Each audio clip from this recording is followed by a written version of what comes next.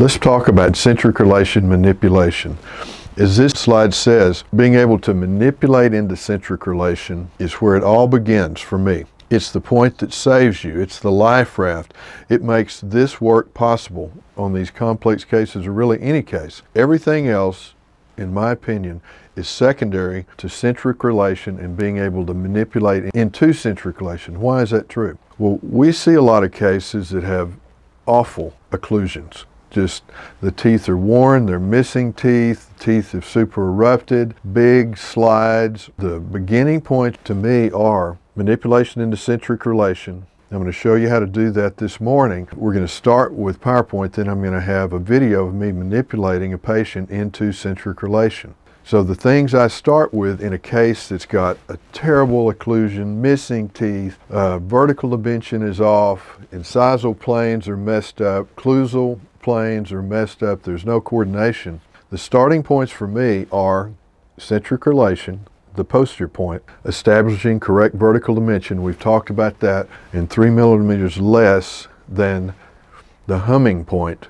If you measure from nose to chin, mm, the vertical dimension of occlusion is approximately three millimeters less than that. Incisal plane, length of the central maxillary and mandibular central incisors and the incisal plane blending seamlessly into the occlusal plane.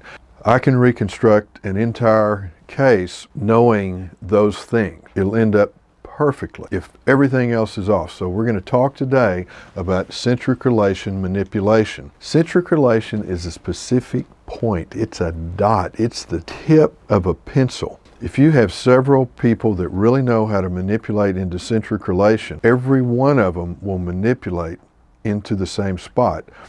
And the teeth contacting when the condyle is in centric relation will be exactly the same today, tomorrow, next week. It's a definitive dot point. It's not an area. So centric relation is a relationship of the mandible to the maxilla when the properly aligned condyle disc assemblies are in the most superior position against the eminentia, irrespective of tooth position or vertical dimension. What that means is centric relation has nothing to do with teeth contacting, nothing to do with occlusion. It's all about the joint. A simple way to think about it, it's when the condyle is seated maximally in the uppermost, midmost position. In other words, you have that condyle seated in the fossa as high as it'll go. It won't go any higher. It's solid. And that's the place that the mandible will rotate. It'll only rotate in centric relation. It'll only hinge in centric relation. So if you can hinge the mandible, you know you're in centric relation. Now, centric occlusion is not the same thing as centric relation. Centric occlusion only has to do with the teeth contacting. Centric relation only has to do with the condyle, condylar head in the fossa.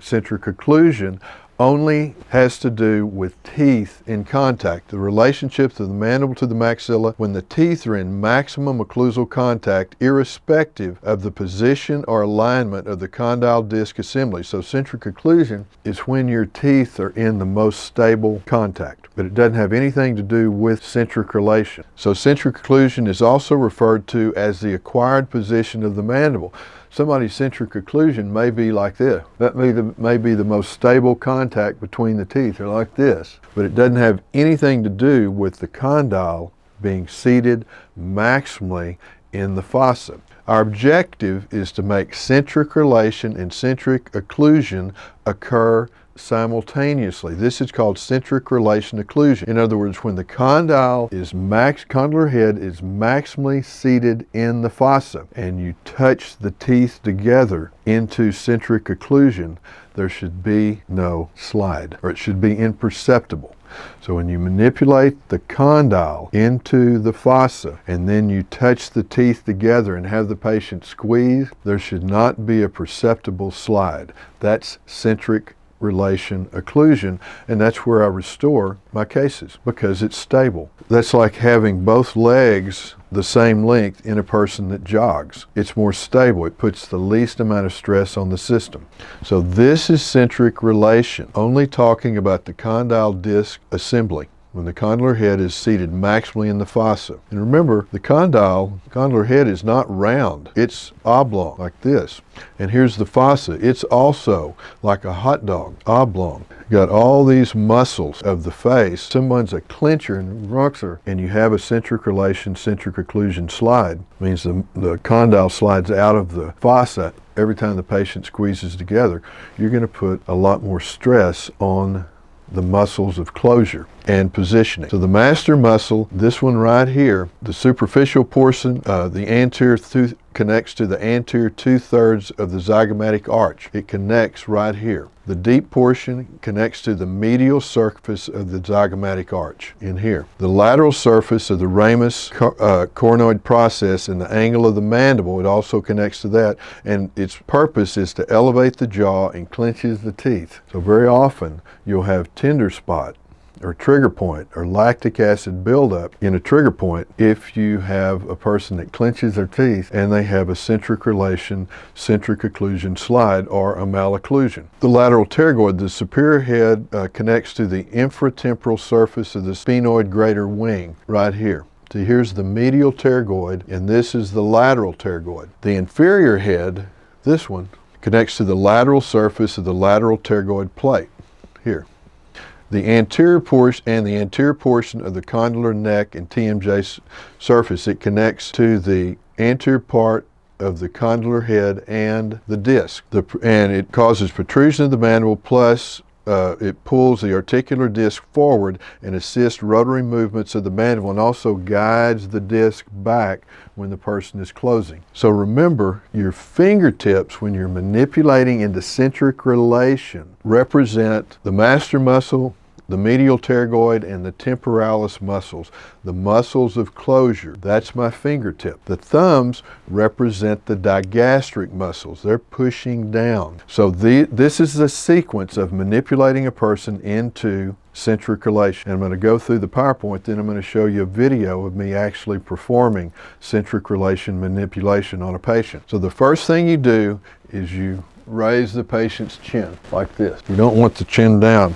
You want to raise the patient's chin so they're on the back of the head with their chin up. The patient's head is braced against your stomach. Or you may want to put a pillow or uh, you know some kind of cardboard plate between the patient's head and your stomach if you don't want their hair or head touching your stomach. But it's important that their head is braced against your stomach in some fashion. Then you place only your fingertips touching the inferior border of the mandible with little finger just anterior to the angle of the mandible. And you don't want the fingertips on the soft tissue of the neck. You want it on the bone of the inferior border of the mandible. And only put the fingertips on the bone of the inferior part of the mandible and you want just the fingertips. Pull the patient's mandible towards your stomach with your fingertips with the teeth in maximum intercuspation. In other words, pull the mandible upward so that the teeth come together in maximum intercuspation with only the fingertips. This won't make sense right now, but it will in just a moment. So don't put your thumbs on the chin, just pull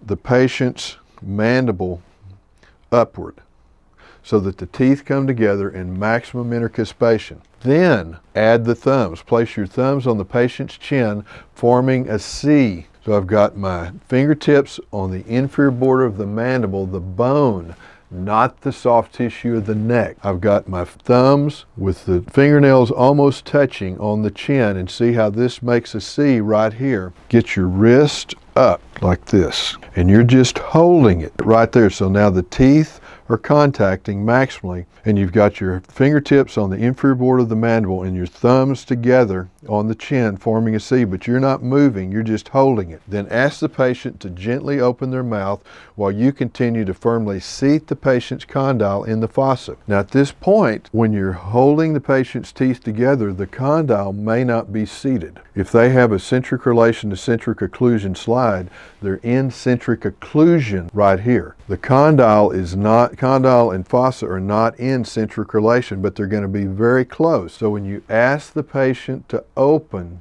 gently, that condylar head is going to slide right into the fossa, right into centric relation. Keep your wrists and elbows locked, your elbows in close to your sides, and hinge your arms from your shoulders. So you want your elbows in, your wrist up, and your hands like this, like you're using a putter. You know, when you putt the ball, you don't break your wrist, you hold it and keep the wrist locked. Same thing here. Lock your wrist, keep your elbows in, your armpits in, your wrist up, and just hold that beginning position with the fingers on the inferior border of the mandible, the thumbs on the chin, and the C right here. So I'm not supplying the momentum for the patient to open. They're supplying it. Ask the patient to move their mandible open or closed very slowly. Do not open the mouth wide or rapidly hinge the mandible. Now remember, the mandible hinges in the first 10 millimeters of open, then it translates. The only place the mandible will hinge is when the condyles are in centric relation, bone brace. That's the only place they'll hinge. If the condyle is out of the fossa, it won't hinge because it's on the eminence. It's not in a stable position. You don't want the patient to open real wide and you certainly don't want to make them open wide or they'll splint. They'll splint the muscles and you won't be able to manipulate into centric relation. So only about 10 millimeters maximum of opening and let the patient open to 10 and then you'll be able to hinge. Sustain firm pressure on the inferior border of the mandible with your fingertips in line with the masseter muscle. Sustain only enough pressure with your thumbs to disclude the teeth. This pressure should be applied toward the patient's toes like this. So you're just holding them in the fossa, and they're supplying a lot of the momentum. Gently and slowly hinge the patient's mandible at 5 to 10 millimeters of opening. You'll be shocked when you do this the very first time. If you follow these directions, you will be a successful manipulator into centric relation on your very first patient, even if they're a person that uh, clenches and bruxes and has real tight masseter medial pterygoid temporalis muscles. Remember, if you open the mandible very wide, it will translate and cannot hinge. Can you picture that? The condyle is hinging in the first 10 millimeters in the fossa. Once you go past 10, it translates down the eminentia and it won't hinge anymore. So keep it to 10, about 10 millimeters. This is how you take a centric relation uh, registration record at a slightly open bite. You place the compound between the anterior teeth, manipulate the patient into centric relation, have them touch the compound. The teeth are not contacting place bite registration record. This is Blu-Mousse Facet Polyvinyl Siloxane. Now remember the teeth are not contacting, only the lower anterior teeth are contacting that compound in centric relation and then you blow air on the, this compound and make it set up. And that centric relation at an open vertical. So if you're making, fabricating a night guard and occlusal orthotic appliance, this is how you do it. Now let's go to a video of me manipulating a patient into centric relation. So I'm going to manipulate this patient into centric relation. First thing I'm going to do is raise her chin. You want the chin up. You, you don't want the chin down like this. You want it as high as you can get it. Then I'm going to place my fingertips on the inferior border of the mandible. Now notice the fingertips are on the bone, not the soft tissue of the neck. If you put it on the soft tissue of the neck, that will hurt and they won't cooperate. They'll be only thinking about the pain of your fingers pushing into their neck. So get the fingers up like this, not flat like this, up like a ballerina on her toes with those fingertips touching the inferior border of the mandible. That's not a painful thing to the patient. Now notice my thumbs are not on the chin yet. Before I put my thumbs on, I'm pulling the teeth into occlusion. I'm pulling the mandible toward my stomach, toward the top of her head, so that the teeth are in maximum intercuspation.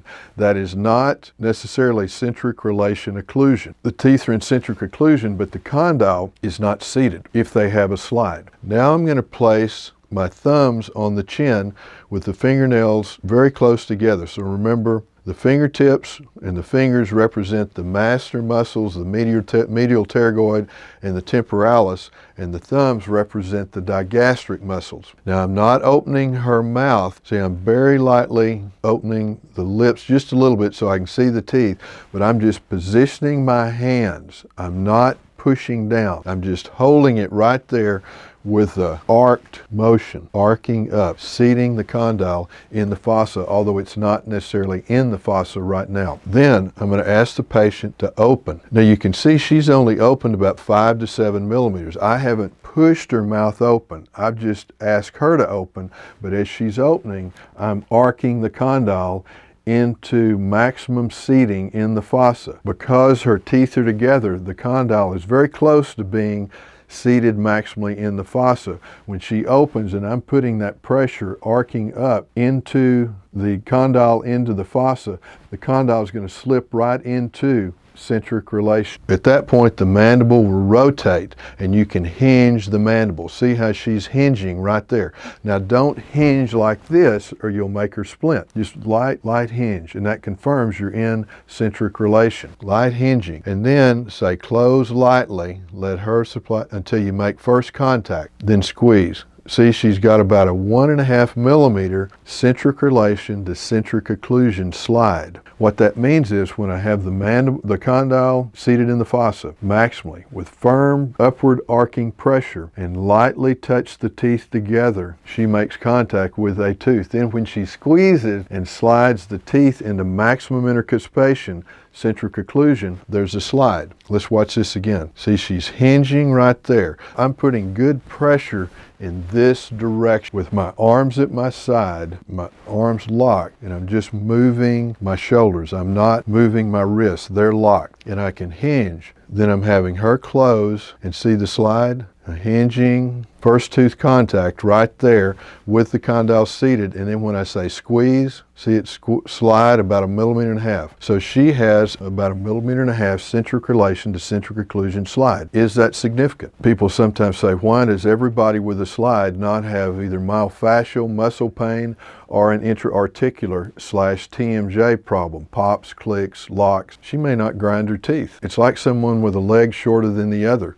If they never jog on that leg, say they sit in a chair all day long, go to their car, drive home, eat dinner, go to bed, they're not not putting any stress on an imbalanced system. The same thing with a person that has a malocclusion. If they're not clenching the teeth or bruxing at night, they're not putting any stress on an imbalanced system, so they may not have a muscle problem, myofascial pain, or an intra-articular TMJ problem. So see how my arms are touching my side, my wrists are up, I'm forming a C, the fingertips are on the inferior border of the mandible, the thumbs are almost touching. And then that lets you push down a little bit on the lip so you can see the teeth. See, so I'm asking her to open. I'm not pushing her, I'm pulling the fingertips up, pulling up on the inferior border of the mandible to get the teeth in maximum occlusion before I place the thumbs. So this is not centric relation, this is centric occlusion. The starting point is centric occlusion. Then I raise my wrist, my arms are still in tight to my sides, raise my wrist and place my thumb so that this makes a C between the thumb and the finger. Ask her to open, and as she opens, I'm cocking the mandible up this way into the condyle into the seating maximally in the fossa. See, I can hinge. Remember, you can only hinge when the condyle is seated maximally in the fossa. That will let it rotate. If it's down the eminence, it won't hinge. It'll,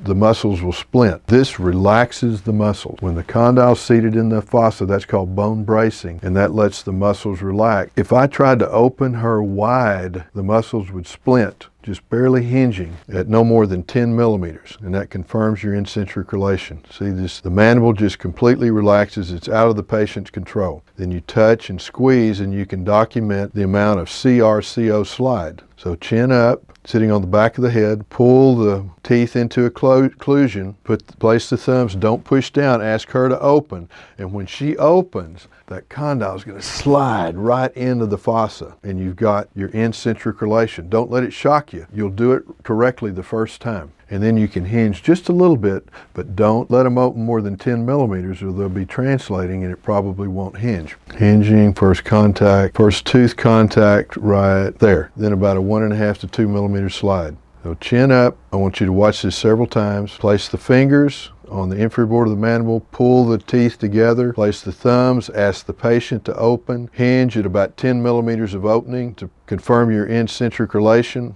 Ask her to close gently, identify first tooth contact in centric relation, have her squeeze, and that identifies the centric relation to centric occlusion slide. So hinging again, first tooth contact right there, squeeze, CRCO slide of about two millimeters. If you're equilibrating someone, you'll eliminate that slide either by adjusting the contact so that the other teeth contact and there is no slide, or you can actually add composite to the tooth. We'll go through that when we talk about occlusal equilibration. So that's the dental minute.